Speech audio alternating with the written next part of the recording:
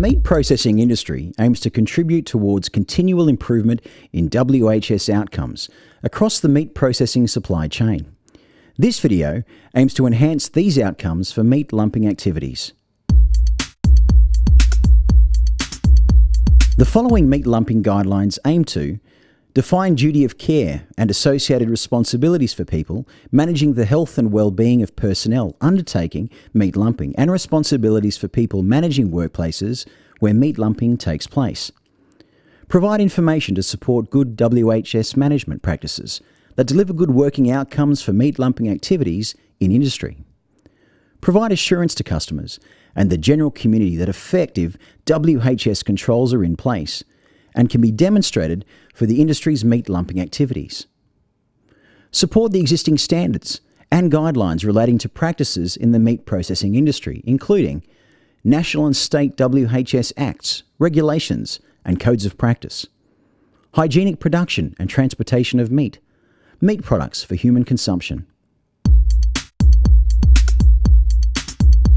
Meat lumping is defined as the work practice involving people carrying a meat carcass or part of a carcass in the process of dispatch and delivery of meat to customers.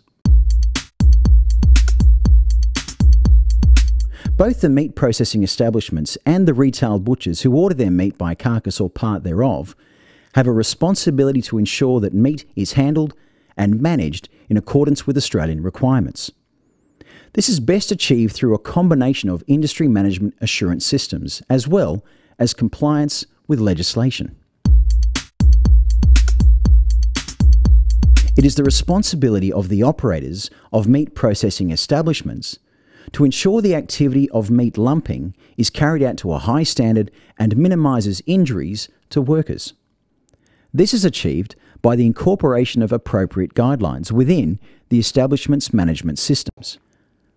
These guidelines include a demonstrated commitment by the proprietor to WHS regulation compliance and objectives, consideration of WHS practices and the regular oversight of meat lumping activities, reviewing all practices through the supply chain that impact on meat lumping activities, providing feedback on appropriate practices for undertaking meat lumping safely to their workers, transport operators, suppliers, and customers.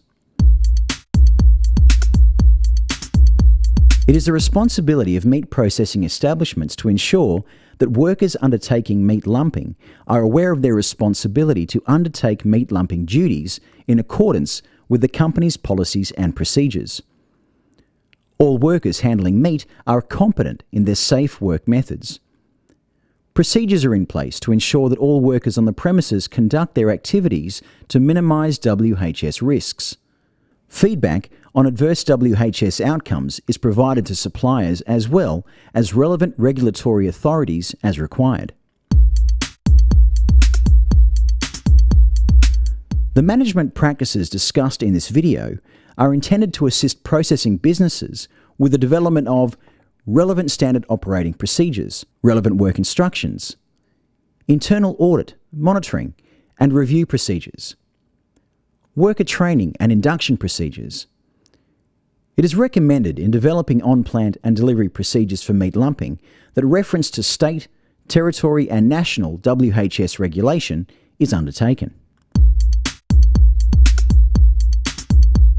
The guidelines for meat lumping have been separated into three different sections, which relate to specific areas on the supply chain. Number one, loading out and lumping at the processing establishment.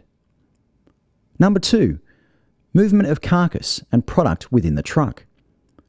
Number three, movement of carcass and product from the truck to the retail outlet. The following video will provide detail on each section.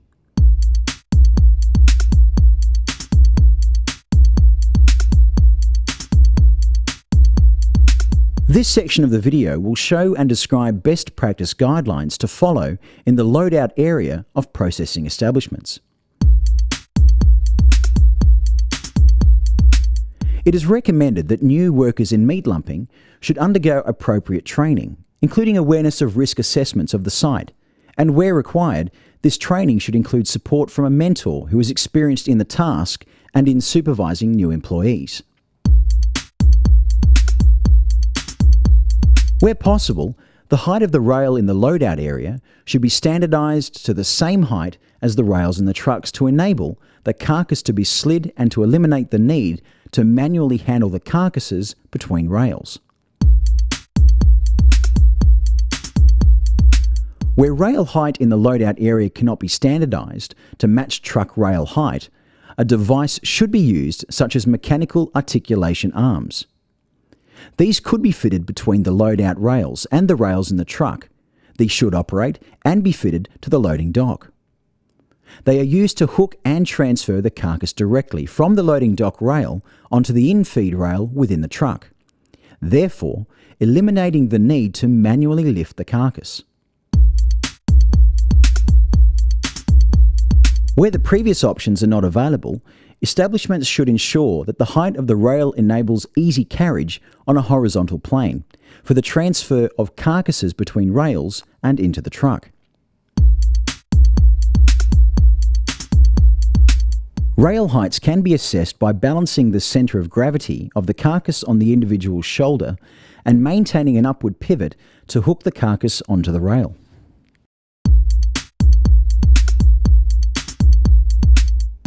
Ensure where practical that the rail within the truck is installed and or designed to be facing a north-south orientation. This is from the cabin to the rear of the truck. Ideally, there should be a linkage between rails inside the truck to allow carcasses to be slid between rails. This is to eliminate manual carrying and transferring of the carcasses between the rails when loading and unloading the truck. The rail at the rear of the truck should interface with the in-feed rail from the loadout area. Examination of the effectiveness of lubrication of rails should occur within the loadout area and the trucks, particularly after high pressure cleaning has occurred where lubrication on the rails may be reduced. Lubrication should be maintained on the rails to reduce the force involved in sliding the hooks suspending the carcasses into the storage location. Where possible, ensure that the hook that will be utilised within the truck is of the same design of hook that is used in the loadout area. Ideally, it should also be the same hook that is used within the customer premises to minimise manual transferring of carcasses between hooks during the delivery process. Where cross rails are used in the truck, identify the feasibility of using pallet bins or storage bins with a wheel on, wheel off storage system to reduce the dependence on the cross rails.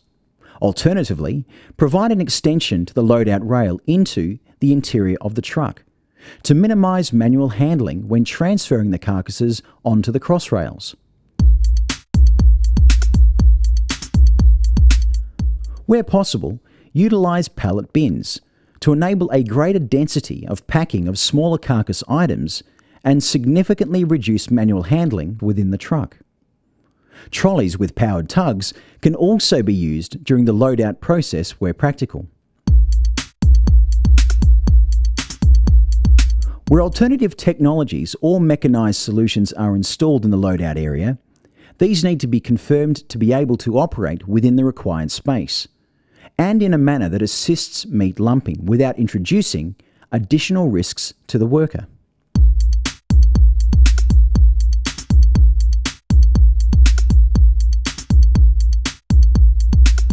This section of the video will show and describe best practice guidelines to follow when moving the carcass and products within the truck. A linkage should be installed between the truck rails to enable carcasses to be easily slid from one rail to the next. A simple linkage rail similar to that used in moving between the load-out rail and the in-feed rail to the truck that can allow the hooks to pass freely should be considered. These linkage rails enable the transfer of a hook suspending a carcass between adjoining rails within the back of the truck. Beef quarters should not be double hung on hooks or ropes. This makes the carcass hang too low to lift safely at the balance point on the shoulder without stooping and bending.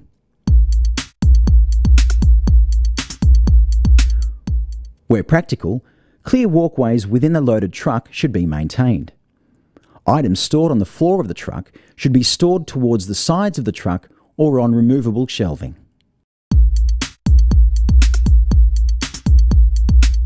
Ensure that all truck bodies have properly maintained non-slip tread patterns on the floor and steps. Regular cleaning and maintenance of the floors and steps should ensure that the non-slip characteristics of the surfaces are in good condition.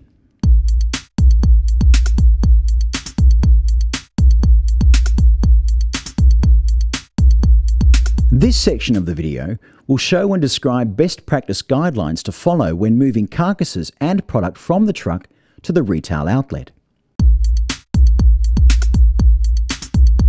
Where possible, delivery trucks should carry connecting rails in the back of the truck.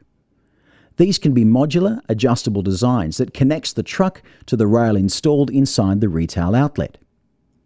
Alternatively, if possible, it could connect to an attachment point above the shop entrance door. That is, where a shop has accessible rails, when the truck is parked outside the front or back of the shop. These would optimise the opportunity to slide the carcass between the truck and the shop to minimise manual lumping of the meat over the roadway, gutter and footpath.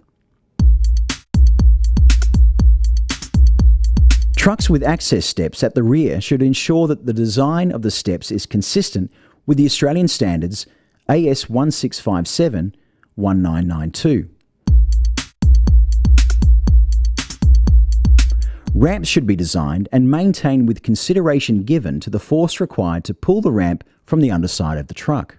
The overall weight, angle, width, and slip resistance of the ramp also needs to be considered.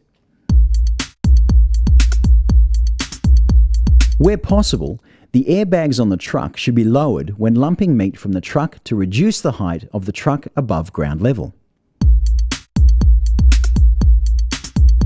Truck drivers should be provided with shop keys to allow for flexibility in scheduling delivery times to avoid peak hour traffic.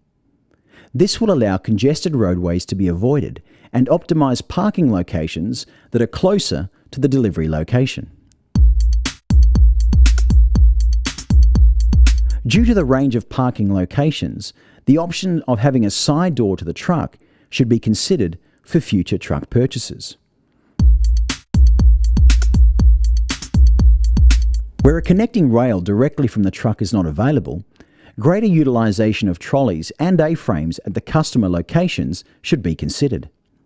The use of trolleys and A-frames is most practical when there is a smooth level ground from the rear or side doors of the truck directly into the cool room. However, there are other types of equipment available that will assist in going up and down stairs with limited extra effort. Where this is practical, meat lumping could be significantly reduced. In all cases, the hierarchy of controls and reasonably practical principles should be applied when determining what would be the most appropriate control measure.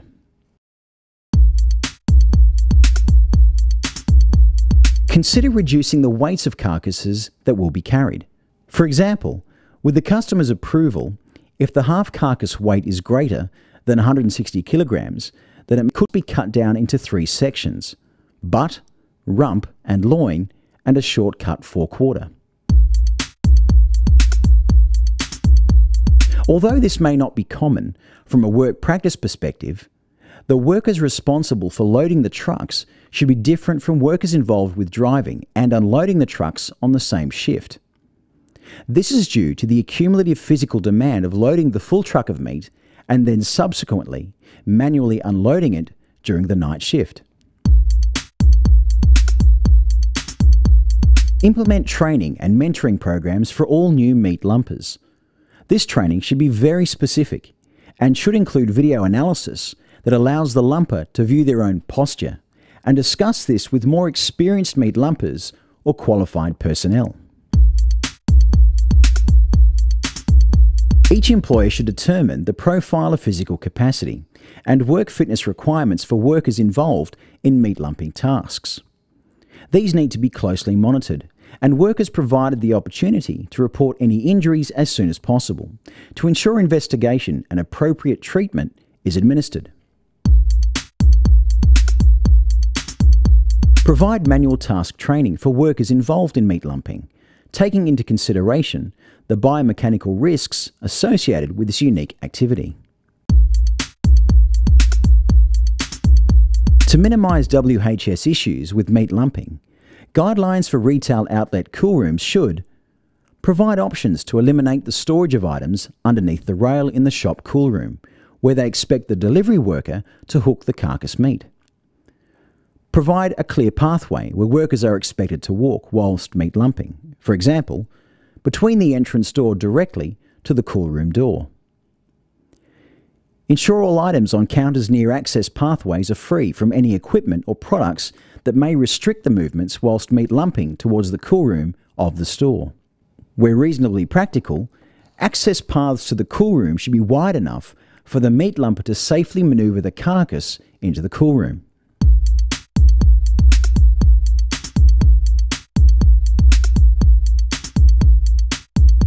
These guidelines were produced to assist in the reduction and prevention of accidents and injury to all employees undertaking the task of meat lumping.